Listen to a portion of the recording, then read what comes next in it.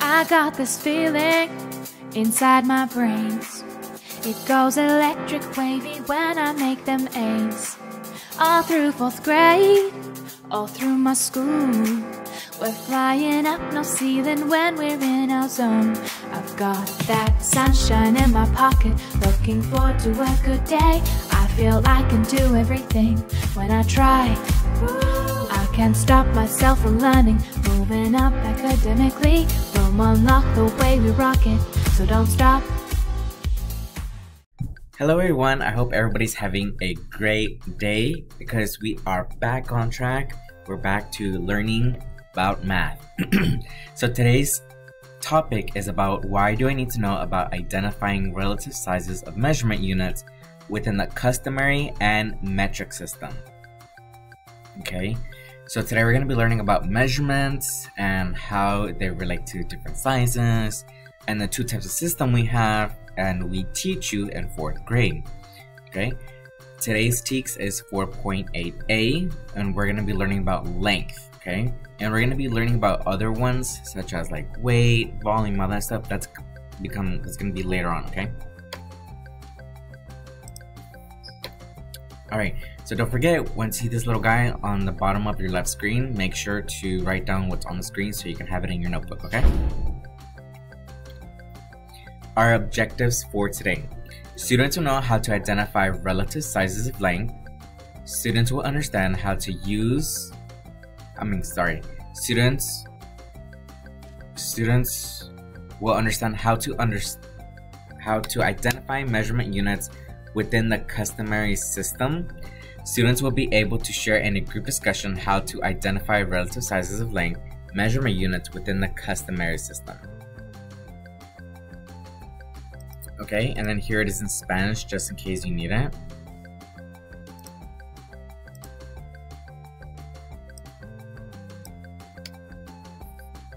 Okay, let's move on.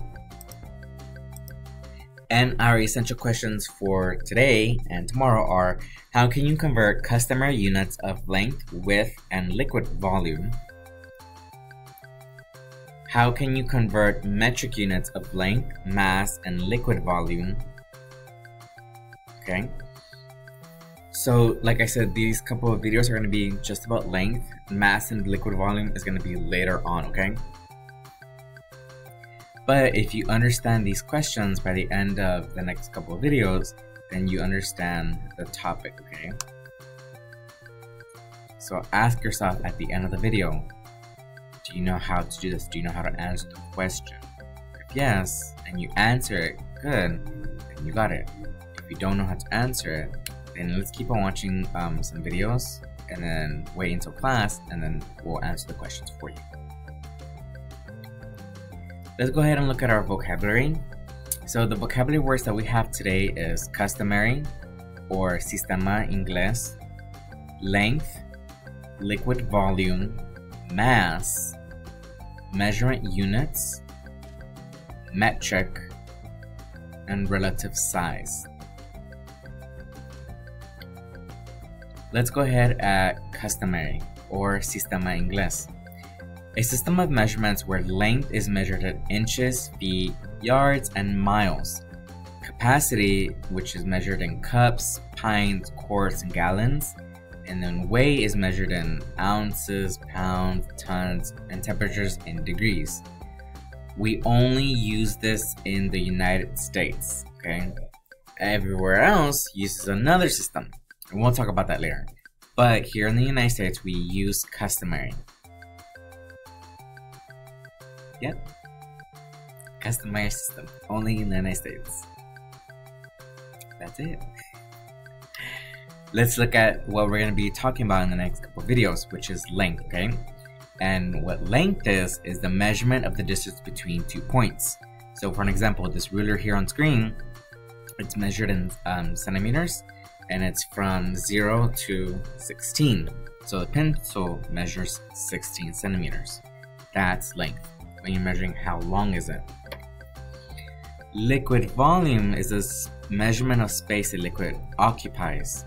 So how much is my coffee um, being occupied in this cup? It could be gallons, pints, your milk. When you get milk from the cafeteria, it's in a little pint. Okay. Mass is the amount of, of matter in an object. So how much does this object weigh? Okay, how much mass does it have? And measurement unit, which is a system of, of measurement where length is again um, measured in millimeters, meters, centimeters, kilometers. Capacity is measured in liters, milliliters, weighs in grams, milligrams, kilometers, and temperature in degrees in Celsius. Okay, so this system is called the metric system. So everywhere else in the world uses the metric system. If you go to Mexico, if you go to El Salvador, if you go to Honduras, Nicaragua, um, Europe, um, everywhere, everywhere, they use our metric system. They use the metric system. Sorry, not ours, but the metric system. Okay, it's not like we made it up. But even our scientists here in the United States, the scientists here use the metric system. So, yeah.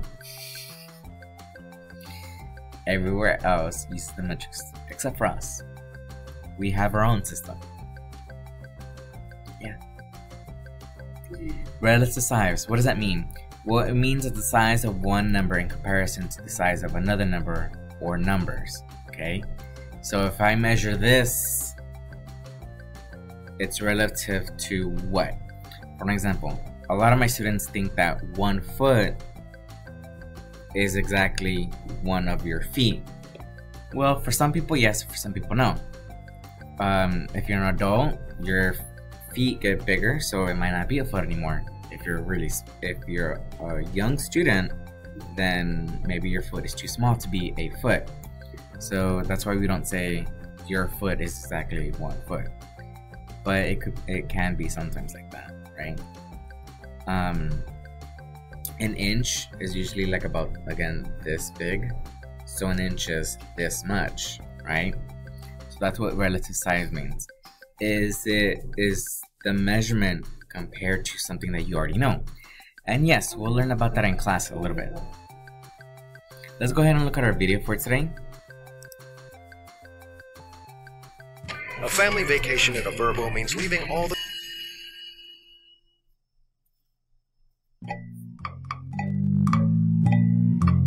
We are the women and men of measurement. If there's a distance, we find the length of it.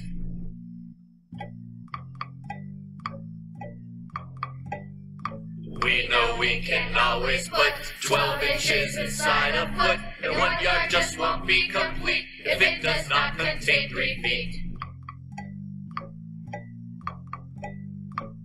One inch is what you got if you're looking at the top of a bottle of pop. On your thumb is about one inch from your knuckle to your fingertip.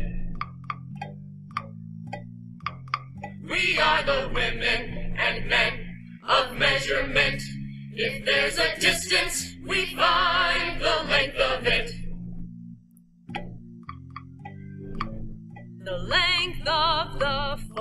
where your work is put measures out to just one foot. You'll find a foot if you look at the height of the parrot on my hook. Yar. A football field has 100 marks. Each one is a yard apart. At the plate with a softball bat, a yard is about what you're looking at. Open your fingers a pinch and make an inch. Then make your hands look just like a foot. Put them three times as far and make a yard. Now we know how long they are. We are the women and men of measurement. If there's a distance, we find the length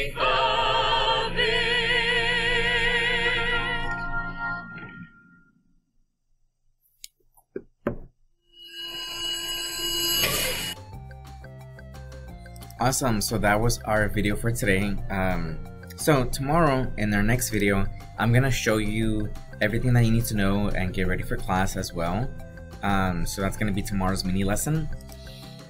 And then here are your notes for measuring length. Okay. Again, we have a customary system that we use here in the United States, and then we have the metric system that we that everybody else uses besides us for whatever reason. Um. Yeah. Okay, so write down your notes and then I'll see you tomorrow, okay? I hope you have a great day. Bye.